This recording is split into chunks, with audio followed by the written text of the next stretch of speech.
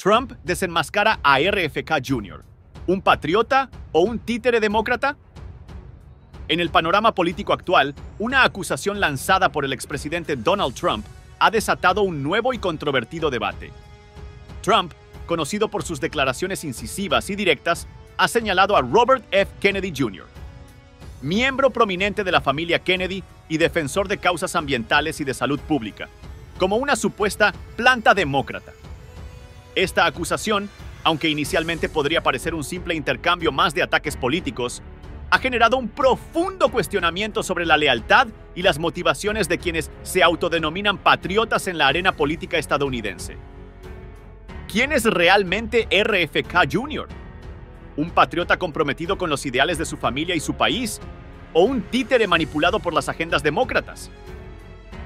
Para entender este debate, es crucial analizar el trasfondo político y personal de Kennedy Jr. y examinar las afirmaciones de Trump desde una perspectiva objetiva y crítica.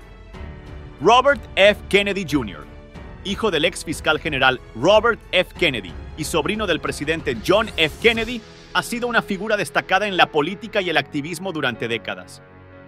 Su defensa apasionada del medio ambiente y sus esfuerzos en pro de la salud pública lo han convertido en un líder respetado en estas áreas. Sin embargo, su alineación política ha sido objeto de debate, especialmente en el contexto de las acusaciones de Trump.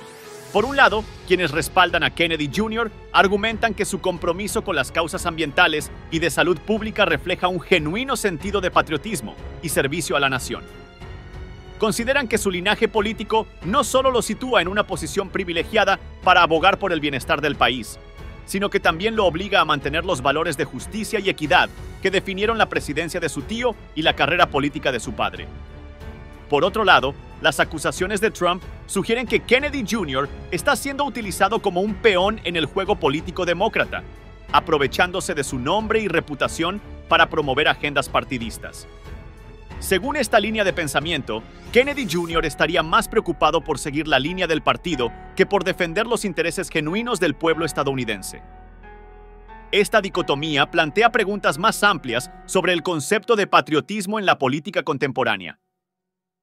¿Es suficiente estar vinculado a una familia con un legado político venerado para ser considerado un patriota? ¿O el verdadero patriotismo se manifiesta a través de acciones y convicciones independientes, incluso cuando van en contra de la corriente política predominante? Para llegar a una conclusión informada sobre estas cuestiones, es necesario que los ciudadanos examinen críticamente las afirmaciones y acciones de quienes ocupan posiciones de poder y liderazgo. No basta con aceptar ciegamente las palabras de un líder político, sea este Trump o cualquier otro, sino que es imperativo analizar los hechos y evaluar las pruebas disponibles de manera objetiva.